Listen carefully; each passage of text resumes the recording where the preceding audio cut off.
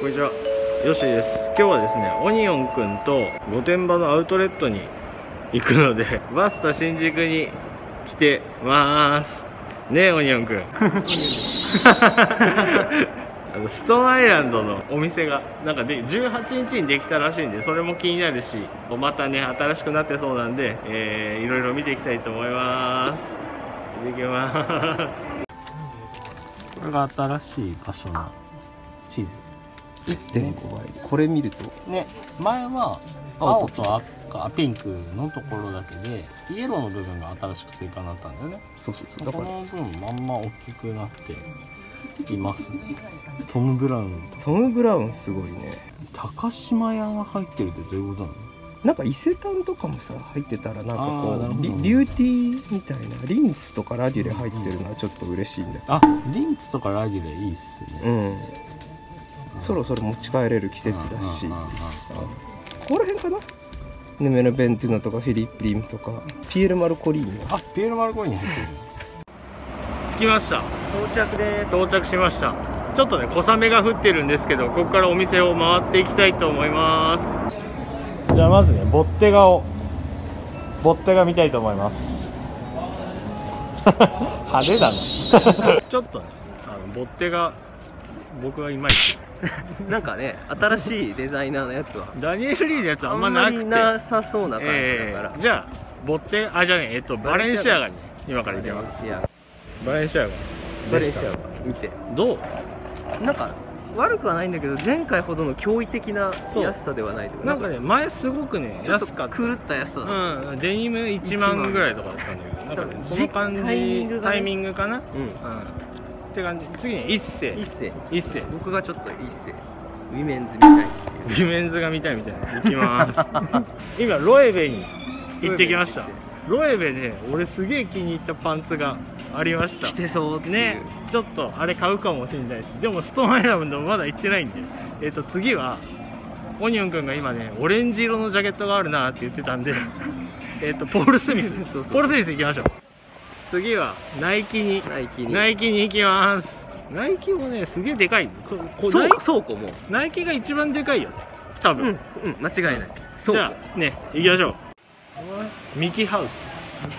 ハウス 僕たちが入ることはない、まあまあまあまあないんでね。ああとはこっちねワコワコールもないでしょ。なんかファミリー層向けだよねそうそうそうそうそう。あオークリーオークリーな。あオークリーね。あのねオークリーってね90年代のオークリーめちゃくちゃかっこいいの知ってる？え知らんでも最近買ったよちょっと前。なんかどっかのサミュエルロスじゃん。そうそうサミュエルロス。ねあーはいはいはい。すごいね、トゲトゲしたやつ。うん、なんか、ま、ショッキングピンクのサングラス買ったけど。えっとねあれなんだっけ？マッキンか。マッキントッシュ。マッキントッシュをねちょっと行ってきました。マッキンがねあんましやす普通のセールくらい。そうそう普通のセールぐらいだったんで。ねっていう感じですちょっとマルジェラをね見に。あれ閉まってる疑惑がちょっとある閉まってんのかな？ちょっとなんか張り紙らしきものとさ、うん。シャッターか なんか降りてるしさ。いやもうまああリニューアルオープンだってあ10月2日あそうかそうか。ではストーンアイランド到着到着しました。ちょっとねストーンに入っていきたいと思います。ストーンアイランドでした。ねなんか良かったんだけどなんかこうピンとくるアイテムがちょっと少なくて。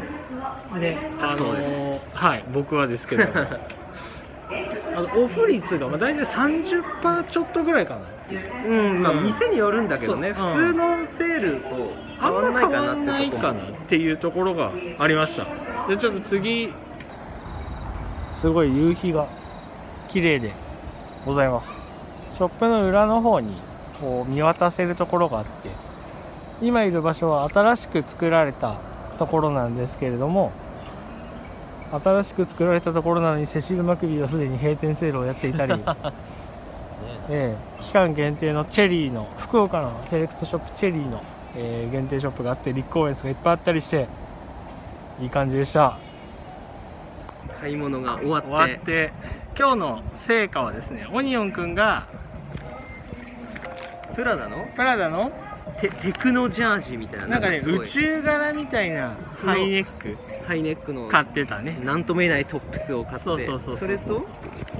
リンツチョコレート。ねチョコレート。チ チョコレート中毒なんで。そうそうそう買って。で僕がねさっきロエベでて。クソま本当にね店員さん本当申し訳ないぐらい迷いすぎて。で買わない あと何かが。何かさちょっとすごく良かったんだけどちょっとやっぱね気になると踏み切れない。値段的にも全然いいんだけどこう踏み切れず決めきれず。僕がやっぱり一番、僕はねエスカーダのねレーザーコートすごいそうそうそう。オニオン君があいいなと思ったやつが120万ぐらい